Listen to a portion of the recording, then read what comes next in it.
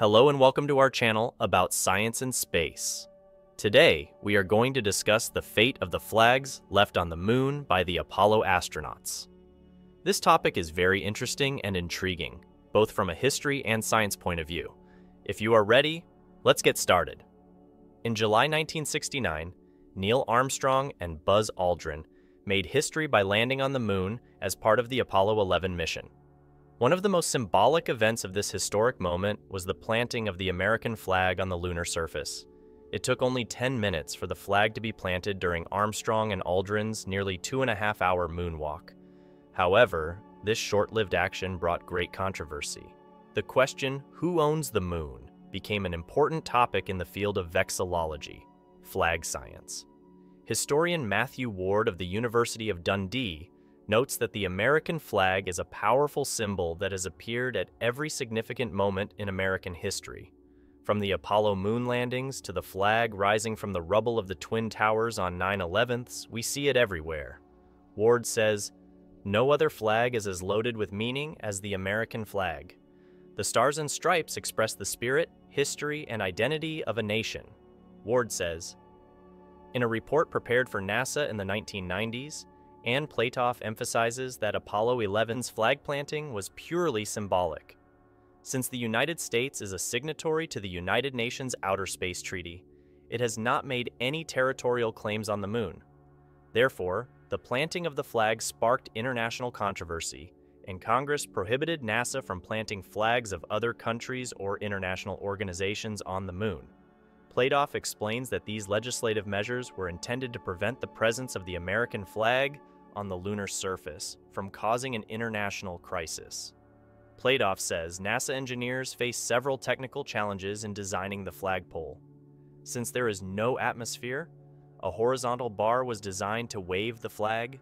Weight, heat resistance, and the astronauts' spacesuits, which limit their mobility, were also taken into account. The flag of Apollo 11 was purchased at a local store in Houston for only $5.50. In an article he wrote for Life magazine, Buzz Aldrin describes the emotional moment of planting the flag. He states that when they were planting the flag, they could only bury the pole a few inches because of the dense soil under the lunar surface, and the flag did not look very solid. Planting the flag on the lunar surface proved more difficult than expected. Apollo 11 astronauts Neil Armstrong and Buzz Aldrin faced serious difficulties in planting the flag. The flag was not very stable, because the pole used to erect the flag was buried only a few centimeters into the hard layer just below the lunar surface. Just thinking about how Armstrong and Aldrin struggled to plant this flag on the lunar surface makes us realize how difficult and important that moment was. Today we don't know the condition of these flags. It is thought that due to exposure to sunlight, the flags most likely deteriorated through a process called sunburn. Platoff notes that the flags may have become brittle and perhaps shattered. Meteoroid impacts may also have damaged the flags. The six flags were planted on the lunar surface during the Apollo missions, each with a different story. For example, Apollo 17's flag, unlike the others, was displayed in the Mission Operations Control Room on previous missions and was planted on the moon by the final moonwalk team.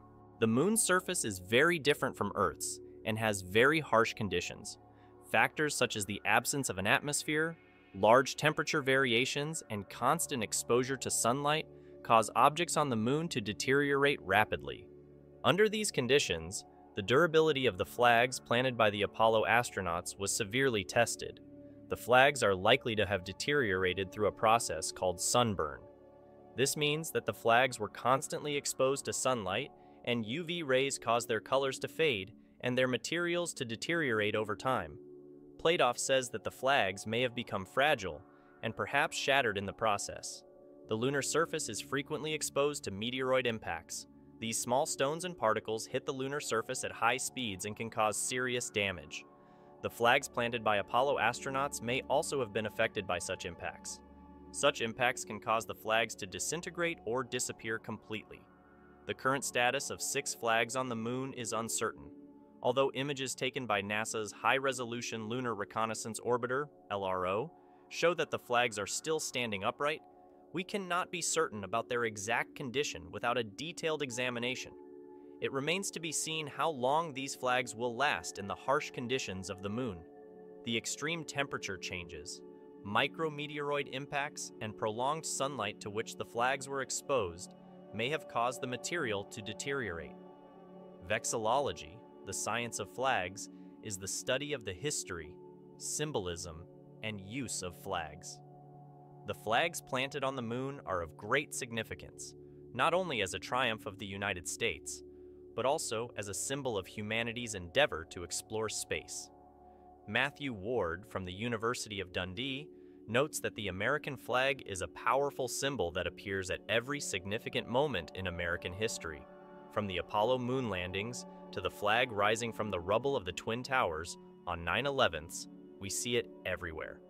For those who believe that the Apollo moon landings were faked, Platoff says that such conspiracy theories are easy to disprove and that there is ample evidence to prove the authenticity of the Apollo landings. Those who think the moon landings were faked should develop critical thinking skills. Is it more likely that everyone involved in the Apollo program perpetuated the conspiracy for 55 years? Or that the power of science and technology landed a man on the moon? He asks. The legacy of these flags planted on the moon will remain as a symbol of humanity's endeavor to explore space, says Platoff. Whatever the physical condition of the flags, the values and symbolism they represent will remain as a lasting reminder of humanity's exploration of space. The fact that the flags lasted for years on the lunar surface can also be seen as a testament to the engineering achievement and sacrifice of the astronauts. Platoff says the biggest problem behind the spread of conspiracy theories is that people don't use critical thinking skills. Those who think the Apollo moon landings were faked are free to believe whatever they want, but that doesn't mean it's true, he says. Developing critical thinking skills leads to understanding and acceptance of scientific facts. Developing critical thinking skills is vital not only for understanding major events such as the moon landings, but also for being able to distinguish right from wrong among the information we encounter in everyday life. These skills enable the understanding and application of the scientific method, thus preventing the spread of misinformation and conspiracy theories. If you enjoyed this video, please don't forget to subscribe, like, and comment. How do you think the flags left by the Apollo astronauts on the moon would look like today? Share your thoughts with us. See you in the next videos. Bye.